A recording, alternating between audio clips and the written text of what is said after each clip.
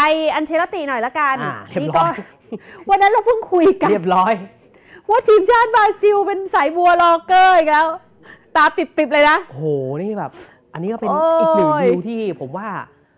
โอ้โหก็เขา impossible รัก not ของ thing จริงๆนะเขาอันเช่กับมาดริดเขารักกันไม่รู้ไปคุยกันที่ท่าไหนนะ ไม่รู้เหมือนกัน ผมไม่ได้หมายถึงอันเชลติกับมาดริดนะ อันนี้ผมรู้กันอ๋อนี้แต่บราซีซิลเออ มั่นใจมากแถลงมีมีมีช่วงประกาศไปรอบนึงแล้วนะว่า เดี๋ยวปีหน้าเนี่ย หลังจากที่ตอนนั้นติเต้คุมใช่ไหมอะให้ดินิซคุมชั่วคราว แล้วเดี๋ยวมิถุนายน 2024 ก็คือปีเนี้ยเราจะได้สุดยอดโค้ชระดับอันเชล็อตติมา เพราะช่วงนั้นนี่คือเปิดแทบจะสัมภาษณ์เลยมีชื่อของมูรินโญ่พัวพัน แล้วพอบราซิลได้คนเนี้ย ผมจำได้ว่าไปถามโรนัลโดนาซาริโออะอืมรถทองคำบอกโอ้โหนี่ใช่เลย เขาเอาอะไรมั่นใจนั่นนี่ไงน่ะสินะเรอัลมาดริดต่อสัญญา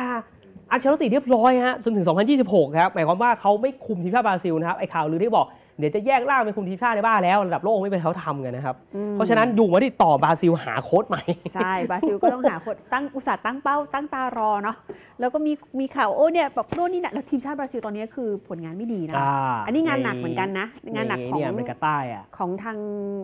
โหสมาคมที่ต้องแบบเนาะแล้วมันตลกมากตรงที่เวลานักข่าวไป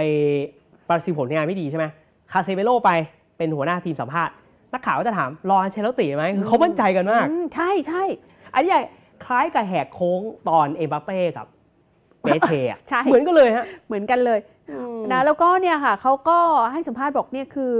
เหตุผลในการขยายสัญญาครั้งนี้มาจากความสำเร็จของสโมสรอืมแล้วก็ความสัมพันธ์อันแนบแน่นระหว่างเอิ่มตัวพีเอ็มกับนักเตะนะแล้วก็บอกว่าเนี่ยอยากจะ คุมทีมลงเล่นในวันเปิดตัวสนามซานติอาโกเบร์นาเบวโฉมใหม่ ซึ่งตอนนี้สนามของเรอัลมาดริดเขา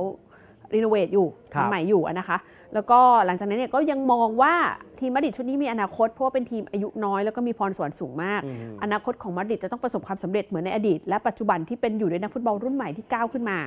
และอันเชล็อตติก็ตัดสินใจแล้วนะคะ อันนี้จากสื่อสเปนรายงานนะ ว่าอ่าน่าจะให้เกป้าเป็นมือหนึ่งโอ้เป็นมือหนึ่ง ในช่วงครึ่งหลังของฤดูกาลนี้นะคะเพราะก่อนหน้านี้เอ่อเป็นทางด้านอังเดลูนินที่สลับไปสลับใช่มาก็สลับไปสลับมาอืมนะแล้วก็เสียสถิสถิติเสียประตูน้อยกว่าเกป้าด้วยนะอืมแต่แต่อันเช่เลือกเกป้า คือสื่อจะเป็นเขาไปคุยมาบอกว่าอ่าอันเชลติเนี่ยไม่ไม่ค่อยชอบทัศนคติบางอย่างของลูนินสักเท่าไหร่อ๋ออะไรก็ไม่รู้อืมเออแต่ว่านั่นแหละก็เลยเป็นเกป้า ก็ทีมชาติบราซิลก็หาคุณซื้อใหม่ไปเรียบร้อยก็เรียบร้อย